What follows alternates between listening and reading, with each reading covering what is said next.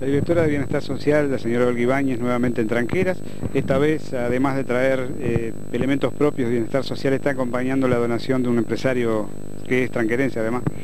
Bueno, una vez más estamos en Tranqueras, colaborando con, la ciudad de Tranqueras este, y acompañando a esta buena persona que la verdad se cruzó en nuestro camino, el señor Mendina, eh, Luis Carlos, ¿no? José Carlos Mendina.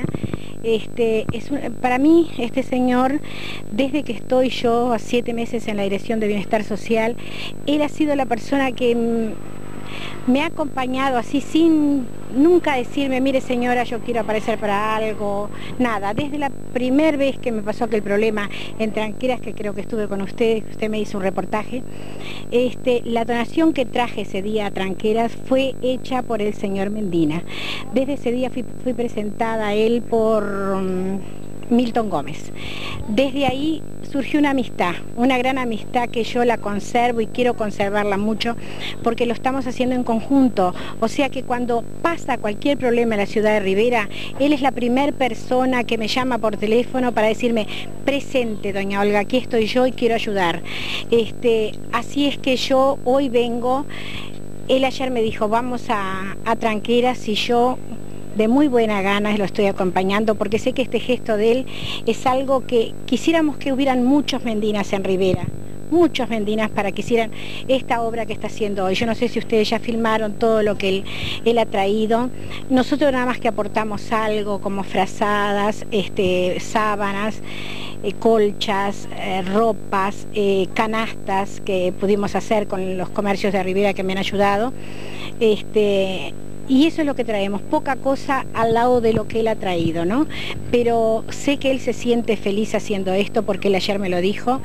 Mm, no creo que él, ni sé si es político, no sé nada, nunca tuvimos oportunidad de hablar sobre eso, creo que no lo es, él lo hace de espontáneo, quiere decir que él está trabajando bien y haciendo por la ciudad de él que es Tranqueras no hablábamos con él de esa parte que él no tiene ningún tipo de ambición, es un empresario con ganas de seguir siendo empresario. Pero vemos que también le acompaña siempre y, estamos seguros que colabora también la profesora María Celia Barbosa, que es alguien que está muy cerca de bienestar social también, ¿verdad? Gran amiga, gran amiga también Celia está luchando junto a nosotros en bienestar social.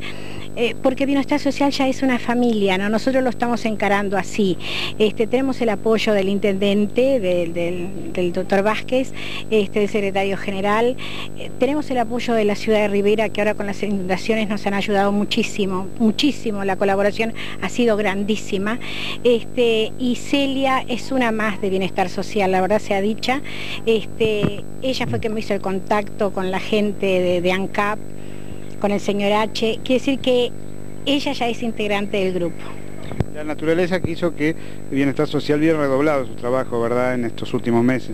Sí, desde que, surgió la primera inundación ya no paramos más, porque tuvimos todo aquello en el corralón, todo aquel intenso trabajo, y ahora seguimos con donaciones hechas en la Intendencia, no en Bienestar Social. Así que esto no para, sigue cada vez más tenga muy buena suerte y le agradecemos que esté con nosotros en esta tarea y eh, agradecidos también por su declaración. Bueno, muchísimas gracias a ustedes y esperemos que esto que hoy trae el señor Medina sirva como ejemplo para todas las personas que quieren ayudar y a veces no, no se animan o no quieren entrar a hablar, pero que se pongan en contacto con nosotros, que nosotros sí sabemos, Bienestar Social sabe dónde están los lugares que realmente necesitan. Hoy las donaciones aquí en Tranquera sé que van a ser en los lugares que realmente necesitan. Muchísimas gracias por todo, muy amable.